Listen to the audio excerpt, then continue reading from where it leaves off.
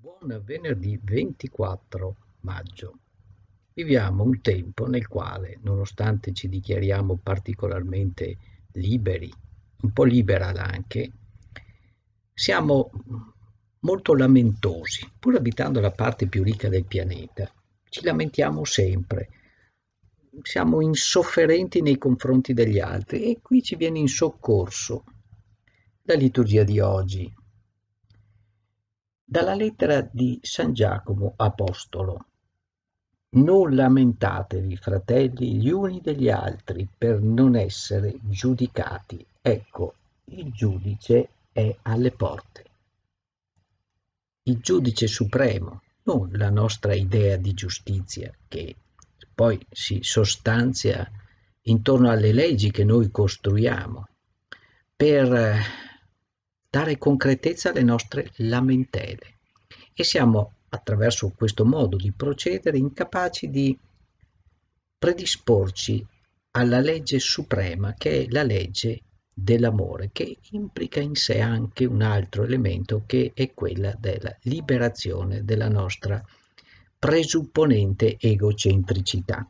Fratelli, prendete a modello di sopportazione e di costanza i profeti che hanno parlato per, nel nome del Signore. I profeti testimoniano perseveranza e sopportazione anche nel momento della difficoltà. Ecco, noi chiamiamo beati quelli che sono stati pazienti, essere sopportanti, pazienti e non lamentosi. Avete udito parlare della pazienza di Giobbe e conoscete la sorte finale che gli riservò il Signore, perché il Signore è ricco di misericordia e di compassione. Misericordia e compassione rappresentano l'essenza stessa della legge dell'amore la quale reinterpreta radicalmente, anche senza modificarle, le leggi formali, le ridefinisce in maniera radicale e sostanziale.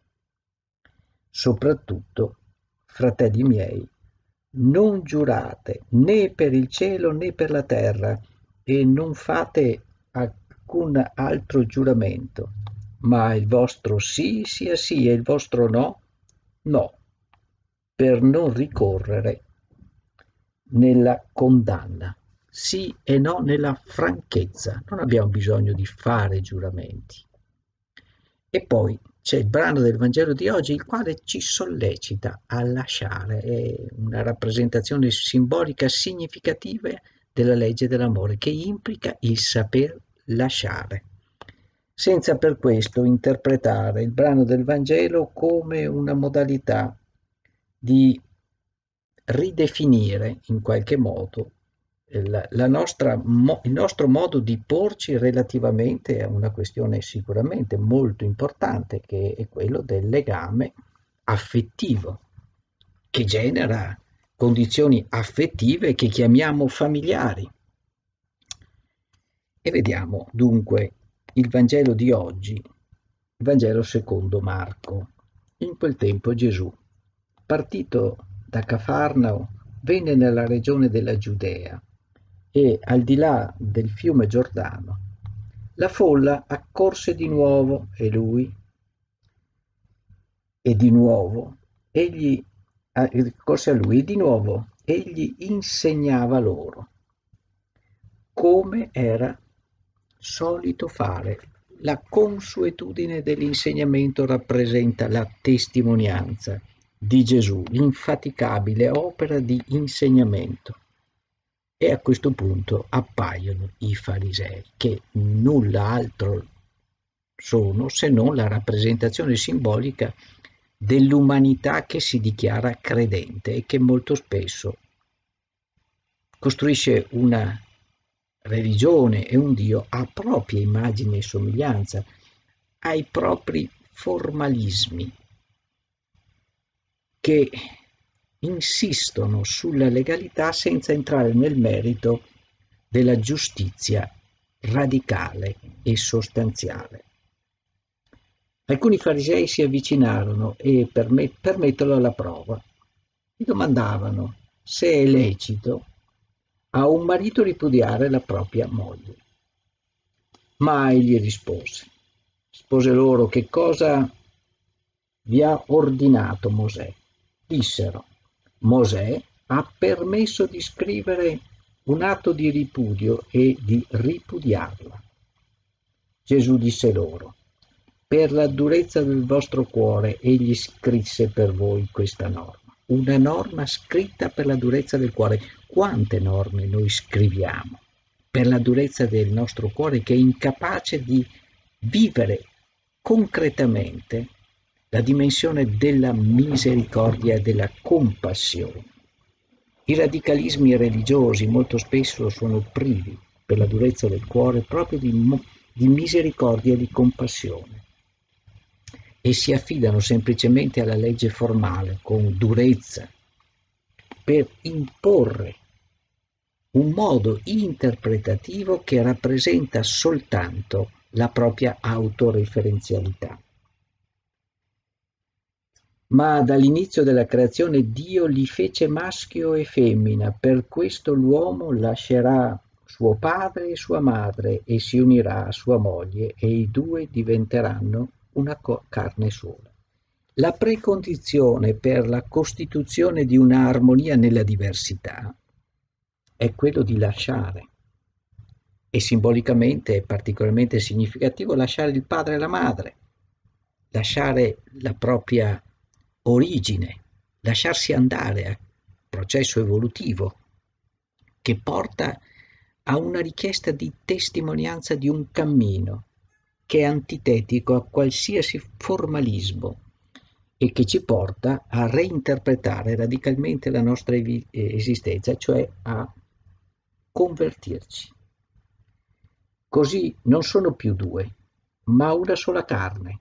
Dunque l'uomo non divida quello che Dio ha congiunto, questa unitarietà che rappresenta il rapporto tra tutte le creature, che costituiscono l'insieme complesso di questo creato. Non siamo chiamati a dividere, eppure lo facciamo tutti i giorni, questi atti di divisione. In funzione della autoreferenzialità non è una questione che riguarda solo il matrimonio? Riguarda qualcosa di molto più complesso.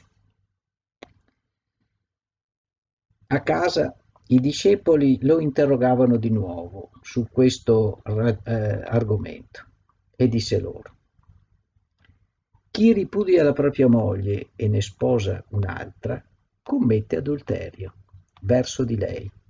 E se lei ha ripudiato il marito, ne sposa un altro, commette adulterio. Per entrambi vale la stessa regola l'adulterio. È una rappresentazione, anche in questo caso, particolarmente simbolica della parità nella diversità. Maschio e femmina simbolicamente rappresentano due entità diverse, ma che hanno gli stessi diritti e gli stessi doveri. Qui non è in gioco soltanto la condanna dell'adulterio, perché quella poi va reinterpretata all'insegna della misericordia e della compassione. Chi sono io per giudicare, ci insegna Papa Francesco.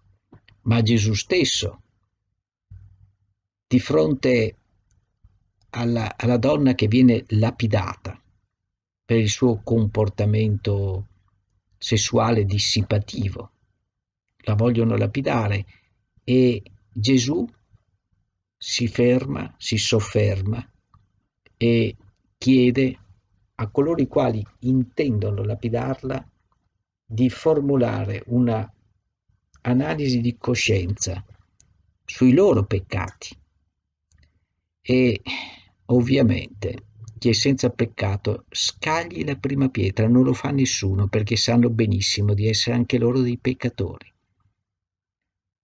Va e non peccare più.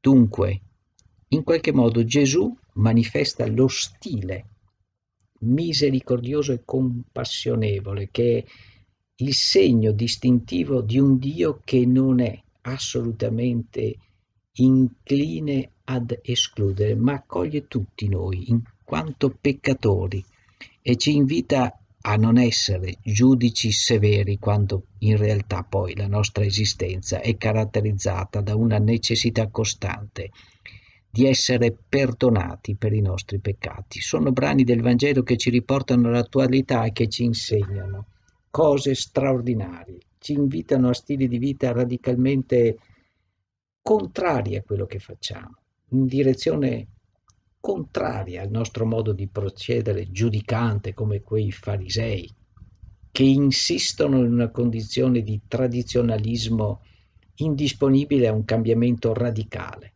Gesù ancora una volta ci porta sulla via della salvezza e, sulla, e sull'invito a una conversione che ci faccia protagonisti di una testimonianza di misericordia e di compassione. Buona giornata a tutte e a tutti.